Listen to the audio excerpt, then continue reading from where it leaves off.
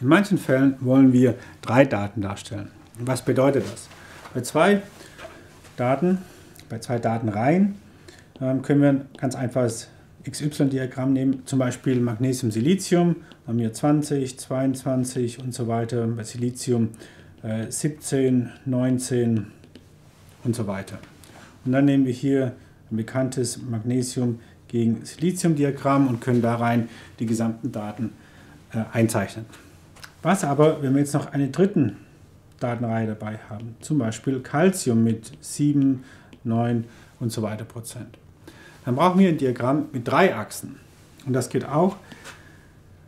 Und zwar machen wir dann ein Dreiecksdiagramm beziehungsweise ein ternäres Diagramm und zeichnen hier ein Magnesium, Silizium und Calcium. Die Frage jetzt ist natürlich, wie ähm, zeichnen wir hier die Punkte ein.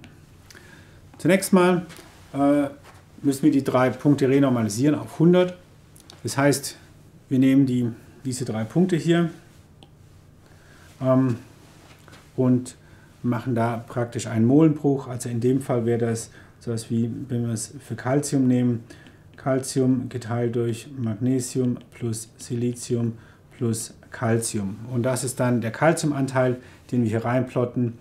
Dann machen wir das gleiche für Magnesium, bloß dass wir dann hier oben Magnesium hinstellen. Also nur dieser obere, äh, nur der Zähler wird geändert, der Nenner bleibt immer gleich. Und dann bekommen wir hier Anteile von 100. Also wenn wir das ausrechnen für alle drei, bekommen wir für Calcium, Silizium und Magnesium Werte raus, die zusammen 100 ergeben oder 1.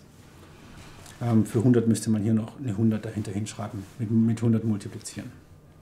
Okay, jetzt in diesem Diagramm, jetzt haben wir das umgerechnet diese ganzen Zahlen, wie werden die hier eingetragen? Da ist ja klar, wenn wir jetzt zum Beispiel mit Calcium anfangen und Calcium liegt hier oben, dann hätte hier oben Calcium 100%. Und jetzt einfachheitshalber rutschen wir mal nur entlang dieser Verbindungslinie Calcium-Silizium in Richtung Silizium. Dann hätte man hier vielleicht 80%, 60% Calcium und so weiter, ja, weil es immer weniger wird. Gleichzeitig nimmt hier Silizium, wenn hier unten Silizium ist, zu, also hier 20, weil hier oben ist 0, 20, 40 und so weiter. Hier unten ist 100% Silizium und entsprechend wäre hier dann auch 80, 60 und so weiter. Das gilt natürlich für beide Richtungen. Also wenn Silizium in diese Richtung der Punkt rutscht, dann wäre hier 80, hier 60 und so weiter und hier drüben wäre 0. Das heißt hier bei Magnesium 0 Calcium, 0 Silizium, aber 100% Magnesium, 80%, 60 und so weiter. Und das gleiche hier 80, 60 und so weiter. Und hier oben 80 Calcium, 60 Calcium, beziehungsweise ähm, 20 Magnesium, 40 Magnesium, hier oben 0. Jetzt lassen sich diese Linien verbinden. Das heißt, wenn hier 80 und hier 80 ist, kann man hier eine Linie verbinden. Und alles, was diesen Abstand von Silizium hat, jeder Punkt, der hier drauf liegt, also so einer beispielsweise, hätte dann 80% Silizium. Und so können wir weiter Linien einzeichnen. 80, 60, 40 Linie und so weiter. Die gleichen Linien können wir für Calcium machen, nicht die gleichen, aber äh, das gleiche Schema. Hier 80% Linie, 60% Linie Calcium und auch für Magnesium 80, 60 und so weiter. Und dann können wir anhand dieser Linien ähm, ablesen, welche Zusammensetzung beispielsweise ein solcher Punkt hat. Und das will ich nochmal kurz ein klein wenig interaktiver zeigen. Hier ist so ein ternäres Diagramm gezeigt. Ähm, und hier ist ein Punkt. Und äh, den kann ich jetzt frei herumbewegen in diesem ternären Diagramm. Und hier rechts ist dann die Zusammensetzung angezeigt, Anotit, SiO2 und Phosphorit.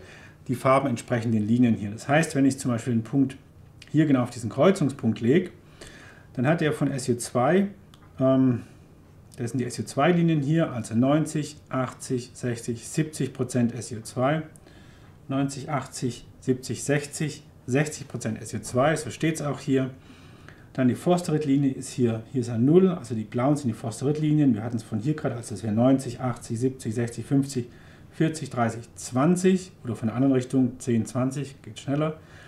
Und dann auch die Anatit-Linie, das sind diese Waagrechten, also einmal 10, 20 Prozent annotiert, genau wie es hier steht. Und ähm, auf die Art und Weise kann man das sehr, äh, sehr leicht ablesen. Also ich mir denke, ein Punkt liegt genau hier, der muss ja 10% SO2 haben, kann ich dann auch hier nachkontrollieren, ja, hat 10% SO2.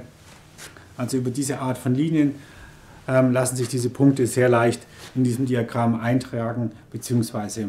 ablesen und das ist das ternäre Diagramm.